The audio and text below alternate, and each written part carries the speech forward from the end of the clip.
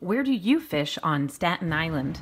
Staten Island's rocky shoreline is ripe for the reeling in. Whether it's catch and release for sport or food caught for consumption, the waters are prolific. In the 2018 season, the borough has fewer official spots from which to cast a line off, as in Pier 1 in St. George, Faber Park in Port Richmond, and Heritage Park in New Brighton. They've all been shut for one reason or another. From mid island through the South Shore, access to the shoreline is readily available for fisher folk, whether that is just off the beaches after a little bit of a hike or in more organized spots like the Ocean Breeze Fishing Pier. Perhaps someday there will be more piers for the sport to flourish. For now, these images are just a snapshot in time of a rustic shoreline.